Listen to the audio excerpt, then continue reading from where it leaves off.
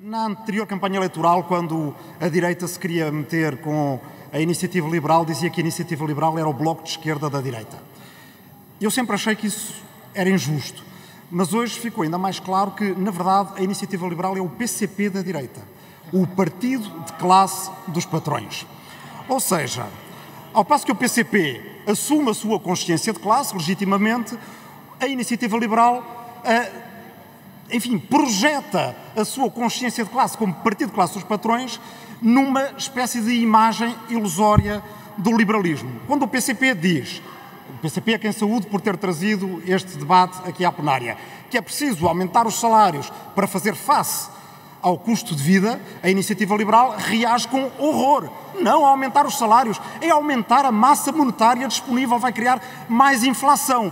O que é preciso é baixar os impostos, nomeadamente dos mais ricos, porque isso de repente já não aumenta a massa monetária disponível.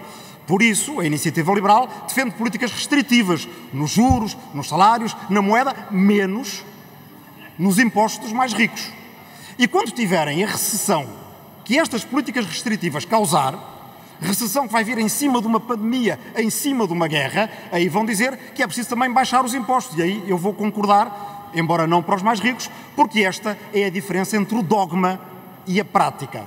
É que no dogma, baixar os impostos é a cura para a enxaqueca, para a gota, para a unha encarvada e para a dispepsia.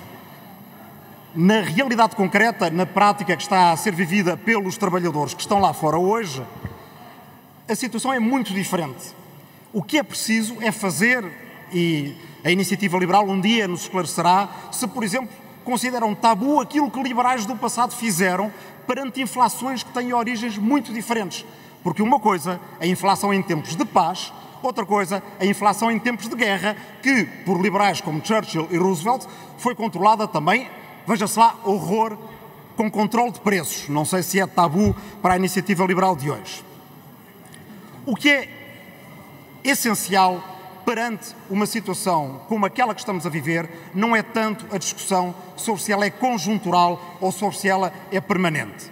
A não ser naquilo em que isso nos revela a atitude dos governantes. Se os governantes insistem muito que a situação é conjuntural, é porque estão, no fundo, à espera que ela passe e acham que o que é importante é correr atrás do prejuízo.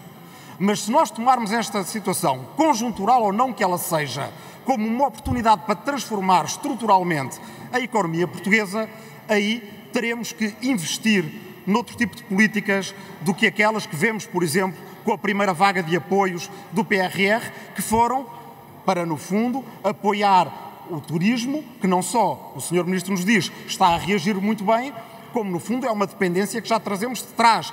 É importante na nossa economia, não deixando de ser uma dependência. Onde é que está, por exemplo, um programa nacional de habitação, não para as 26 mil casas de que o Governo costuma falar, mas até 100 mil casas? Onde estão transportes públicos gratuitos para agir não sobre a dependência dos combustíveis fósseis, mas curar essa dependência dos combustíveis fósseis? Ou seja, onde é que está o Ministério da Economia em tempo de guerra como verdadeiro Ministério da Oferta tornando a vida mais barata para os portugueses. Muito Ou obrigado, seja, em vez de esperar que passe, e obrigado pela tolerância, Sr. Presidente, agir para transformar, essa é a questão. Muito obrigado.